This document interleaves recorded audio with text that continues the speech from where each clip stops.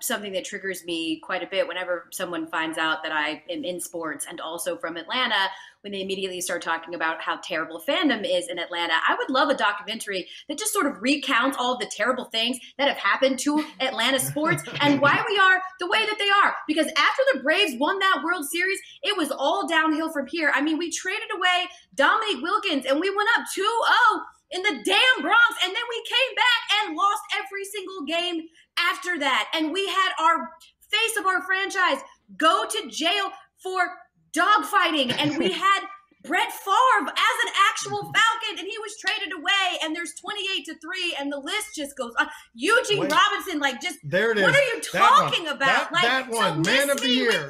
Come on, it's Tua Tagovailoa, and then it's Jalen Hurts again. It's like, what is happening? So can someone please just recount all the terrible ways it is to be an Atlanta sports fan, so that you all will leave me alone about how much we suck as fans? NFL Man of the Year, Eugene Robinson, caught yeah. in a prostitution sting. I have a Super uh, Bowl, uh, Dan. yeah, right before the Super right Bowl. There. Yeah, and Biscayne Boulevard, dirty. Pablo, how about you?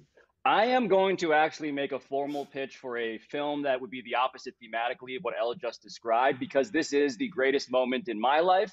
It is the greatest moment in the last two decades of the New York Knicks. This is the greatest moment in the history of Asian American sports. Because in two years, Dan, it'll be 2022, which is 10 years, a full decade since Linsanity. And I know there have been documentaries out there about this. I know I've been in one of them, but there is oh, so much more to God. say, oh, man. There's so much there more. There we go. No, there isn't. Okay, okay. It's no, China, it's no. New York. It's the story no. of the young reporter no. at Sports Illustrated who knew this guy. He then wrote two straight cover stories. You're man, just what, looking what for a work. Horatio Alger story that would be about that young, intrepid journalist.